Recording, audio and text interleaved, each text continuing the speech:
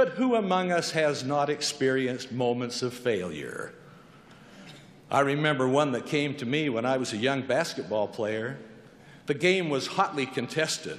The coach gave me a key play. I entered the playing floor and took the pass from out of bounds, dribbled the basketball down the floor, through my own teammates, through the opposing team members, and then I went up high for the shot.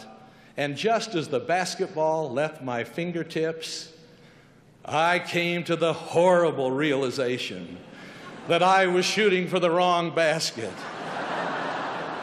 I offered the shortest prayer I've ever offered in my life. I simply said, Dear Father, please don't let that ball go in. And my prayer was answered.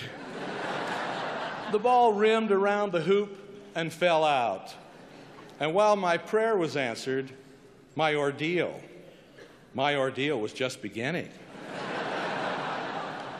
I heard from the adoring fans in the cheering section a loud and prolonged chant that everyone could hear. I can never forget it. They shouted, We want Monson! We want Monson! We want Monson out!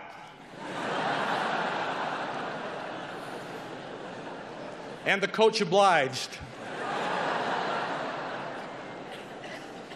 We have to know this, you and I, who subscribe, subscribe, subscribe, subscribe.